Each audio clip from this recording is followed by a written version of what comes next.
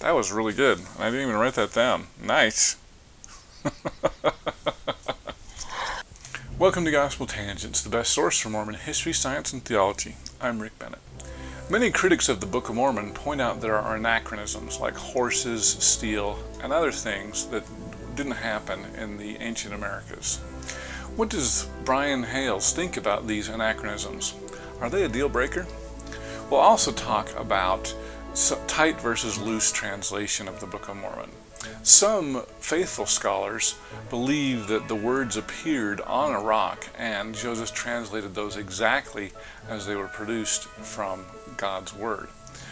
In another theory, known as loose translation, some faithful scholars believe that uh, Joseph Smith used his own intellect to create the Book of Mormon. Which of those two theories does Dr. Brian Hales uh, prefer? We'll find out more in our next conversation. You won't want to miss it. Check it out. Well, let me throw in a, a, a gap for you then. Okay. Well, how do you explain anachronisms, steel, horses, um, elephants, those sorts of things, which, if it took place in America, there's no horses. They didn't. They didn't use steel. They didn't even have wheels. Um, you know, it talks about chariots. There's no temple like unto Solomon. Um, do you have any explanation for that? Well, for me, I think anachronisms are the weakest criticism of the Book of Mormon for, for several reasons. Um, first off, the, we haven't done all of the excavations yet. Some of these items, maybe not all of them, but some of them could still be discovered. They have LIDAR studies of northern Guatemala and the Yucatan of, of Mexico. And these LIDAR studies show that there are people that live there of, of 7 to 11 million in a 40,000 uh, square mile radius area. And 3 to 5% of those have been excavated. So there's, there's lots of, of things that still could be discovered um, in the anachronisms. Another reason I think anachronisms are weak is that if you've ever translated from one language to a number, another, some of the literal qualities of, of an item may be lost or new literal qualities may be gained. Uh, you know, silk. Did they have silkworms there? Probably not. Did they have shiny material? Maybe so. And so some of these things can be explained away. Now, you mentioned horses, a great example, because what we find in the Book of Mormon, horses, I think, are mentioned 11 times, and they are mentioned with chariots. There's no mention of, of wheels. Um, but what's interesting is in Joseph's day, a horse was ridden, a horse would pull a, a, a wagon with wheels. Um, it was used in cavalry, uh, you know, to, to ride in with cavalry. Cavalry, yeah, to to in battle. Well, we don't find any of those things in the Book of Mormon. You don't ride on horses, so far as it says in the Book of Mormon. Uh, they are only associated with royalty and with a chariot of some sort, and we don't know exactly. People make assumptions of wheels and they think Ben Hur and all of this. You know, we don't know what the word chariot signifies. Well, I mean, if they came from the old world, wouldn't you expect Ben Hur to be in America? You, well, with chariots, because they, they pulled the Egyptians pulled horses, pulled chariots with horses, right? I mean, wouldn't you expect the same sort of thing in America? Well, chariots are mentioned so seldom that I, I don't know that we should assume they have wheels. If they had wheels, don't don't we think we would probably have more mention of the use of the wheel in the Book of Mormon? We, we don't. We're making an assumption there. And, and I understand, but this could be just translation on the word chariot. And, and the chariot is only mentioned, I think, four times. We'd have to go back and look.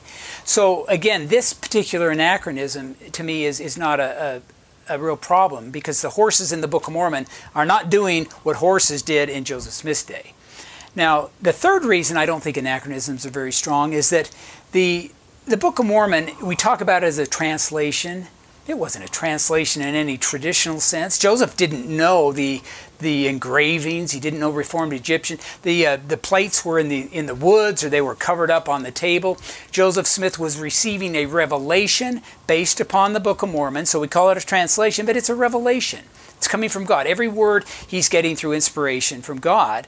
And if God is giving a revelation, that he would upgrade that for the target audience it would be expected. That's the way God works. If we were getting a very literal translation of those engravings, The syntax would be very clunky. It would be difficult to understand. It would have references to things that we would not understand.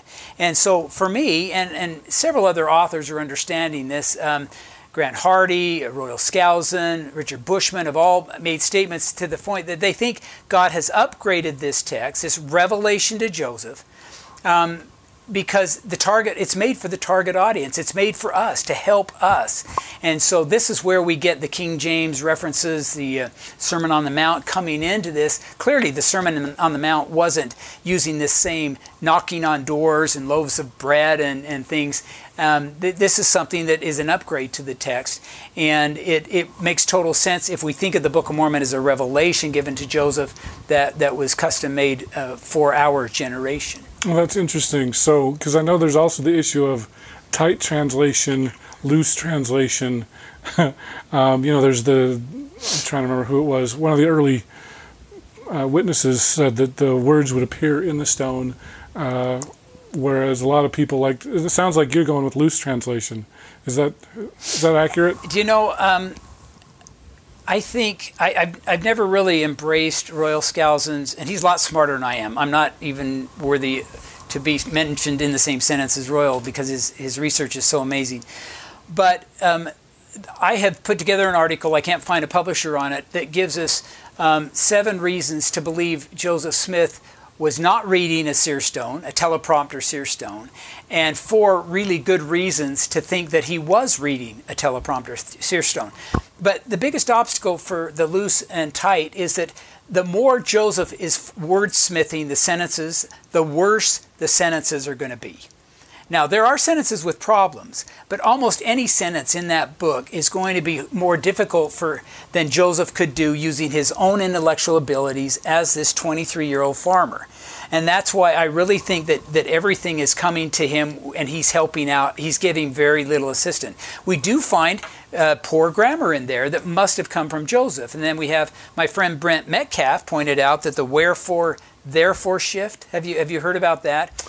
That, Vaguely, but yeah, well, remind us. The two words are basically the same meaning in English, but Joseph is using therefore for the first part, and then he switches to wherefore for the second part of the translation as he's going along.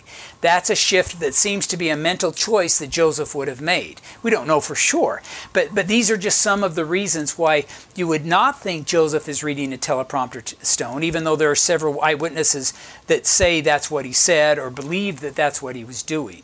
But the, the more we want to consign Joseph as the actual author of the sentence structure, the more we're going to have to give him cognitive ability because um, wordsmithing final draft sentences in real time is a very difficult process.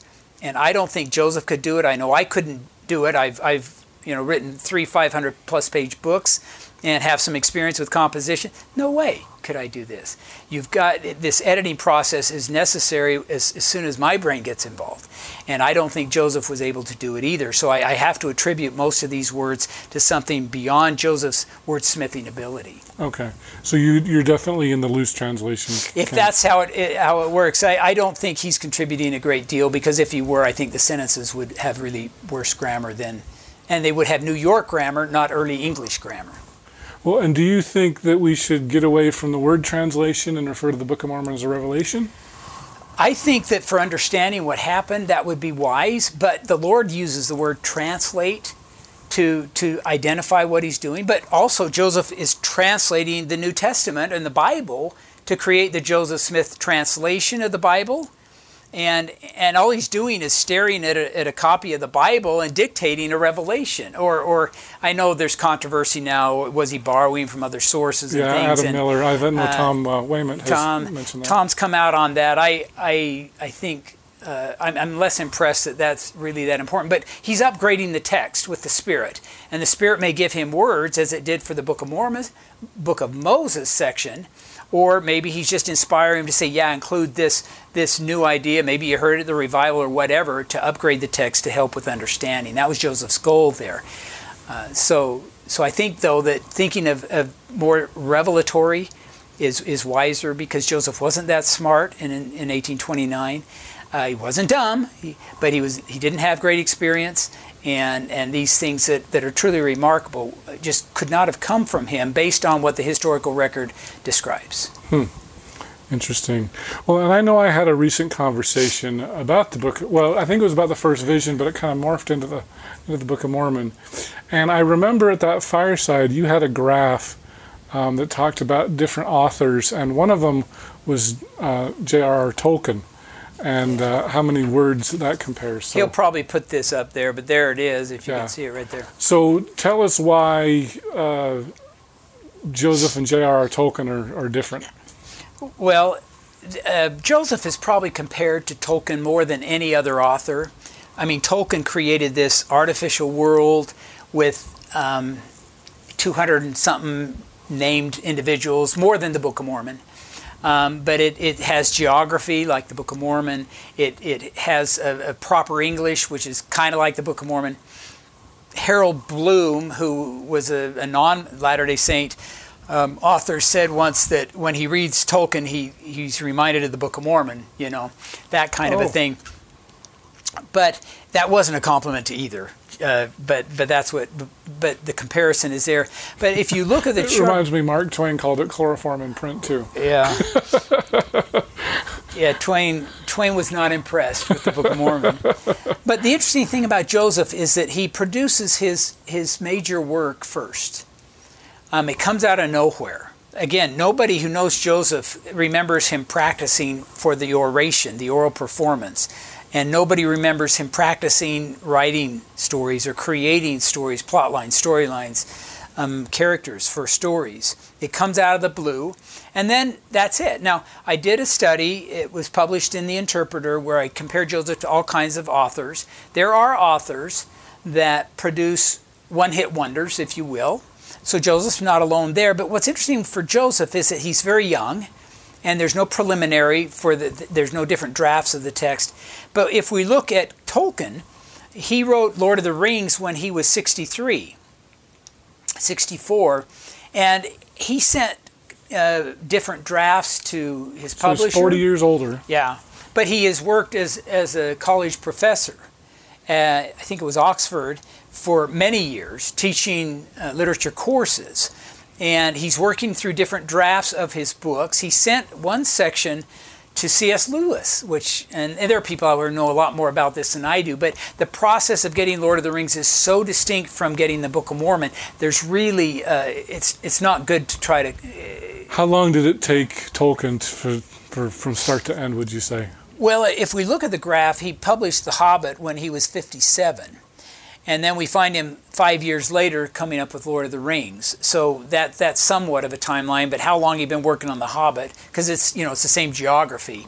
Um, I, I don't know that answer. But uh, uh, I also compared Joseph to Shakespeare. But five Oh. years versus three months, right? I mean, is that what we're saying? right. Although I guess some some would argue that well, if you count those four years with these Moroni visits, you could count you could make that into years as well. Well, it's a very important ingredient in most intellect theories is that Joseph was preparing behind the scenes prior to 1829. Mm-hmm. And they don't quite know what to do with the lost 116 pages. I mean, people have said, well, that was just the first draft. Well, not really, because if you're going to have a second draft, you take the first draft and you upgrade it. But the first draft was lost. So you can't really call that a first draft, except maybe he's learning how to dictate or something. But you wouldn't have gained a lot of experience if you lose that and can't refer to it. So, so the the actual dictation that that Oliver Cowdery recorded really isn't a second draft in that sense.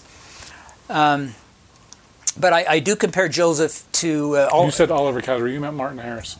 well, Mar- well, Mar- Martin lost it. Martin lost it, but then when Joseph is recording with Oliver, Okay. it wouldn't be the second draft because he's lost the first draft and there's no way to refer to it. So yeah, Martin did the 116 pages and lost him, and then then Oliver shows up a year later and does the rest, mostly.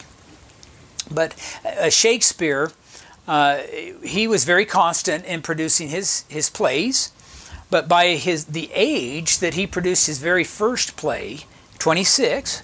By the time Joseph Smith was 26, he had produced 85% of everything that he was going to do. And that's the age that Shakespeare is writing his first play. Just kind of an interesting observation. Um, and I like J.K. Rowling because I, I do like the Harry Potter movies. Um, good storytelling to my mind. Um, but again, she was quite a bit older, and she's using word processors and, and lots of things Joseph didn't have. But Joseph does kind of stick out unique because he just peaks at such a young age, and then you just have a few things that show up after that. Interesting. All right. Well, is there anything else you, you want to share? No, you've been very kind to listen, and uh, I, I, would love to see the naturalists um, just discuss the gap. For how many years have, have all of these theories that I've compiled?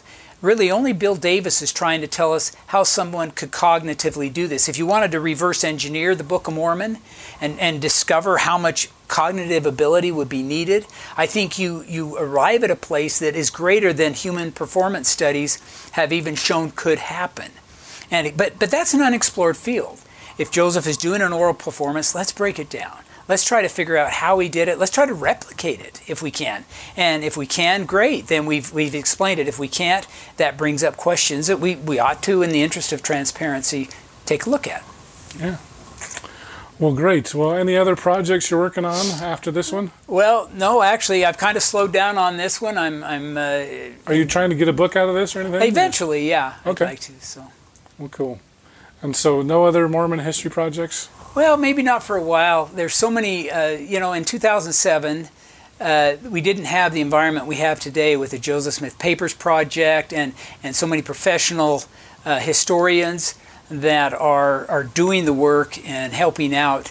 Uh, amateur historians like me are finding, I think, less less of a, a niche. So, and maybe that's a good thing. Probably good for everybody.